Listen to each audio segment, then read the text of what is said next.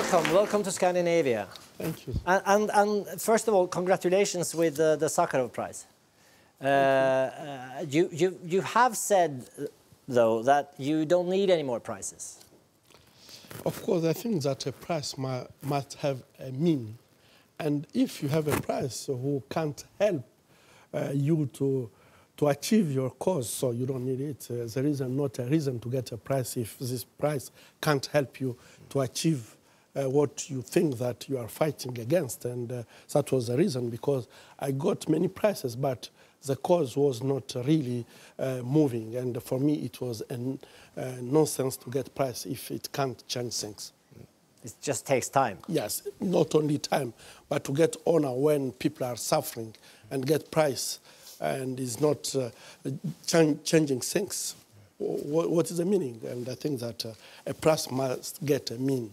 And, and people are really suffering. Uh, you, you tell uh, a story about uh, Congo, which is uh, to many uh, new. They, they, they don't know what's happening down there. Uh, but what, what is happening is that they use rape as a weapon. And why is that? Why is this happening? I think that the rape as a weapon is really uh, effective uh, weapon, and uh, if you can see the consequences of uh, rape as a weapon, is even more effective than uh, all the classic weapons that we have, because uh, when when you can just see the impact of rape in a community, it's not only to destroy physically the victim is also to destroy all the family, to destroy the community. And I think that uh, when we are talking about rape as a weapon, we need really to be very careful because sometimes you are doing a confusion between sexual relation and rape. It's not the same. It's really something completely different.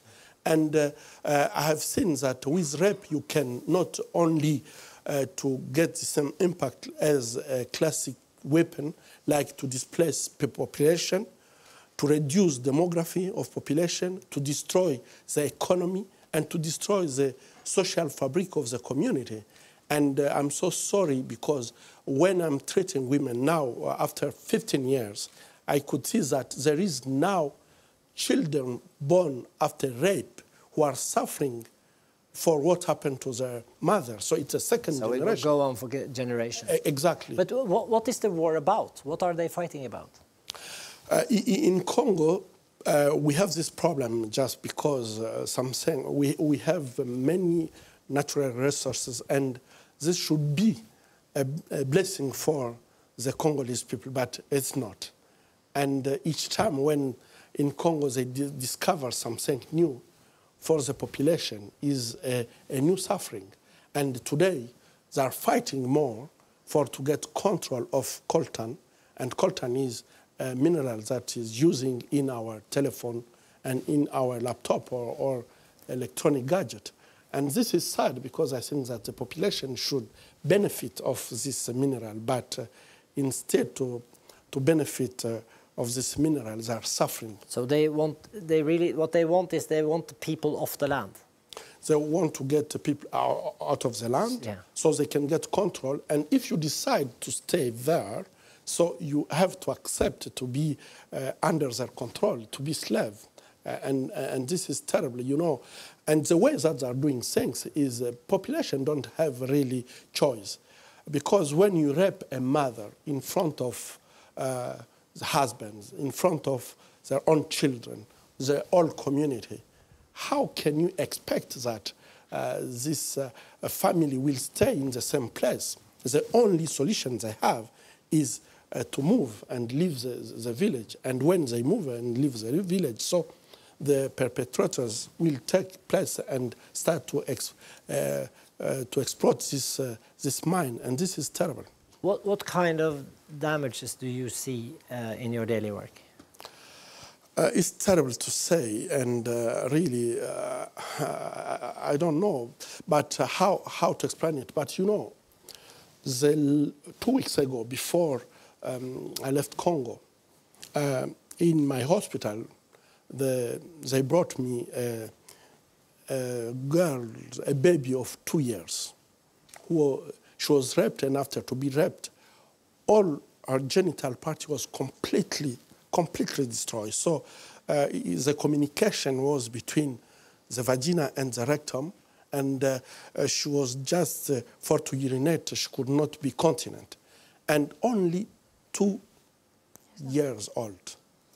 And uh, to get uh, all this sphincter completely destroyed for a baby, she's innocent, but it's a way to show how they can destroy. And you have a choice to stay or to accept to see things like that. So in my daily way, uh, daily uh, work, I'm really uh, treating women who are destroyed, sometimes for adult.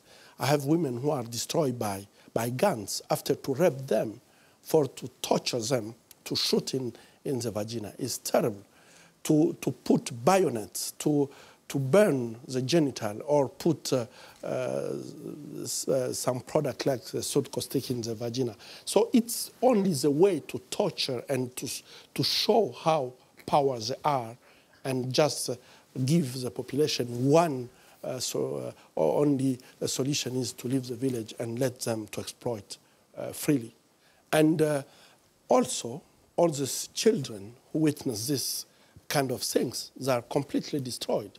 I have seen even husbands who are completely destroyed and they lose all their capacity uh, of masculinity, not only masculinity, but also the capacity to work. They, they don't have really a aim for to go on in the life. And uh, I, I think that is a way to destroy not only physically, but also mentally. What about your own psychological scars?